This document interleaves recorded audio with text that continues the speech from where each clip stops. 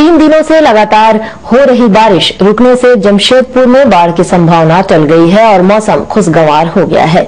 वहीं मौसम विभाग के अनुसार रांची और जमशेदपुर के बीच 48 घंटे तक रुक रुक कर वर्षा होती रहेगी। मौसम विभाग ने बताया है कि बंगाल की खाड़ी में कम दबाव बनने से रांची और जमशेदपुर के बीच भी लो प्रेशर है, जो छत्तीसगढ़ की ओर बढ़ रहा है। 48 घंटे तक रुक रुक कर तेज वर्षा होगी। 160.8 मिलीमीटर 160.8 8 मिलीमीटर हुई है आपको उन्नीस तारीख। मतलब कल सुबह साढ़े आठ से आज सुबह साढ़े आठ बजे तक जो बारिश हुई है one sixty point eight millimetre low pressure बने हुए हैं जमशेदपुर और रांची के बीच में।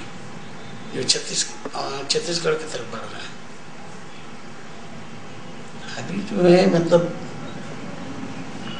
एक आध बार जो है आपको हैवी रेन होगा एक आध टाइम वो भी कहीं कहीं।